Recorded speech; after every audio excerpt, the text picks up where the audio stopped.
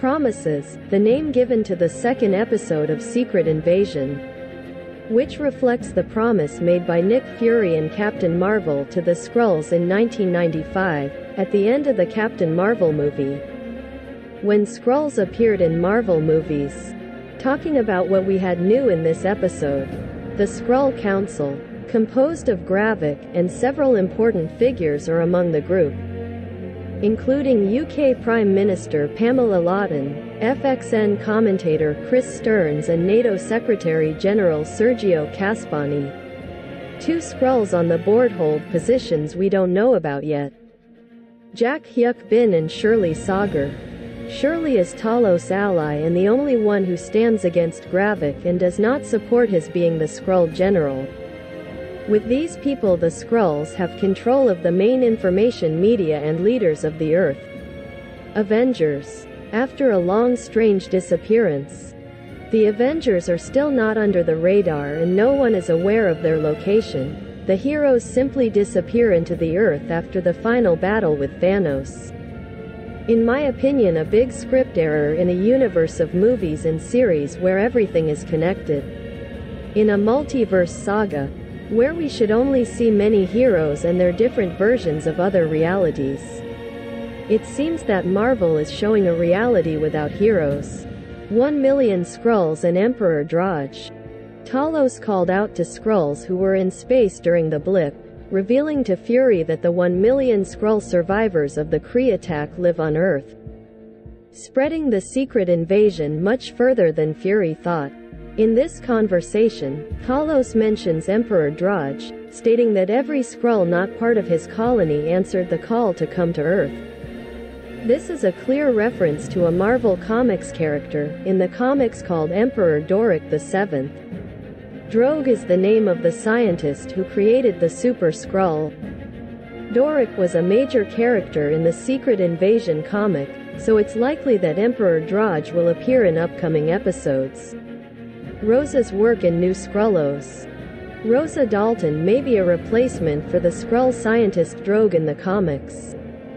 He was the Skrull scientist who created the Super Skrull in the comics.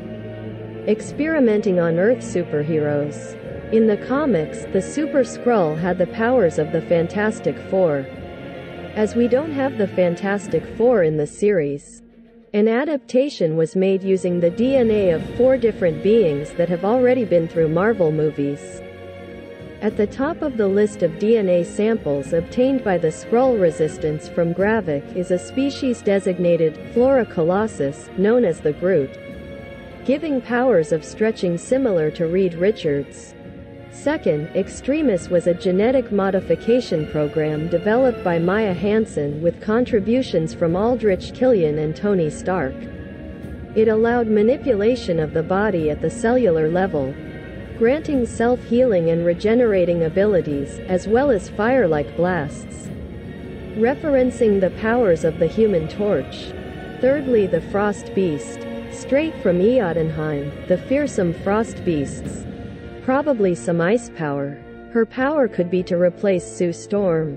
And finally Cull Obsidian. Thanos Warrior is an alien from an unknown planet and race. But Obsidian represents the power of physical strength, similar to the Thing. And I believe these powers can be given to the Skrulls Gravik, Kriega and Pagon. Nick Fury's wife and possible child. Well, honestly, we shouldn't be surprised that Nick Fury managed to keep a secret like that this whole time. At the end of the episode, Fury arrives at what must be a house he's kept hidden and is greeted by, yes, his wife. This is made clear when he puts on his wedding ring and hugs and kisses his wife. We can see that his wife Priscilla is a Skrull, but she changed into human form before Fury entered the house. The question is, does Fury know that his wife Priscilla is a Skrull? If Nick knows that Priscilla is a Skrull, Priscilla could be Vara, which was the Skrull that brings young Gravik to meet Nick. Nick married Vara in the 90s. The two may have adopted Gravik and raised him during his teenage childhood. It could be that this bearded Fury is a Skrull that's why he has a Skrull wife. In Marvel movies Skrull always work with their wives. In the trailers for the series we had the look of the old Fury. Of course Fury could have just shaved. But there's the possibility that this Fury we've seen so far is just a Skrull or an LMD, life model decoy, sent by the real Nick Fury to recognize what's really going on. Life model decoy are droids that are a perfect copy of SHIELD agents used in some special missions.